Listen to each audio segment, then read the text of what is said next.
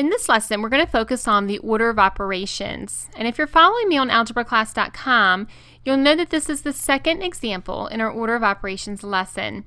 And we're focusing on particular types of grouping symbols. Now, we're used to using PEMDAS, and we know that the P stands for parentheses, but it also stands for any other type of grouping symbol. And in this problem, we're going to focus on the fraction bar as our grouping symbol.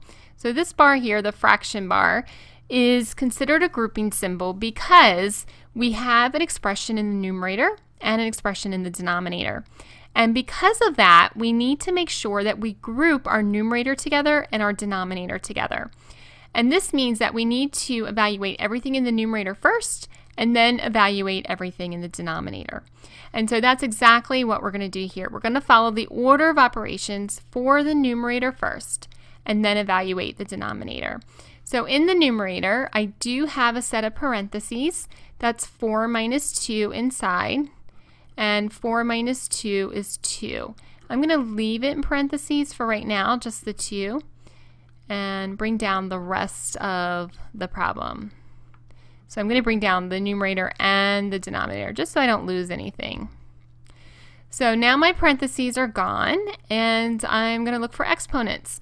I do have an exponent here, so I'm going to evaluate 2 squared or 2 to the second power. 2 to the second power means 2 times 2, which is 4. And now, in the numerator, I have all addition and subtraction. I have no multiplication or division, and I need to evaluate the addition and subtraction in order from left to right. So 4 plus 4 is 8, and 8 minus 7 is 1.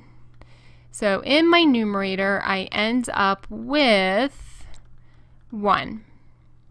But I'm not finished because remember, our grouping symbol, the fraction bar, told us that we needed to evaluate the numerator first but now we need to evaluate the denominator. So I'm going to move over here just to give me some more room.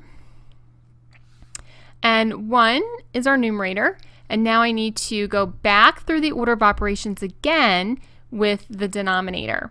So I do not have any parentheses. Even though you see this parentheses here, it's not really a parenthesis in terms of grouping symbols because there's only a number inside. There's no expression to evaluate.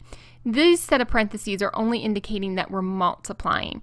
Negative 2 or minus 2 here times 7. So we don't really consider that a grouping symbol in terms of parentheses. So we would say that we have no parentheses. For exponents, we have no exponents. So now it's multiplication or division. I do have multiplication here. So I'm going to bring down the 30 and the minus sign and 2 times 7 is 14. And I'm going to bring down the rest. And now notice that I'm left with all addition and subtraction. So I have no multiplication or division, and I've just addition and subtraction left. So I'm going to start from left to right. 30 minus 14 is 16, and 16 plus 4 is 20. So the final answer is 1 20th. So again, in this lesson, we're just focusing on when you have a fraction bar with expressions in the numerator and denominator, make sure that you evaluate the numerator first and then the denominator.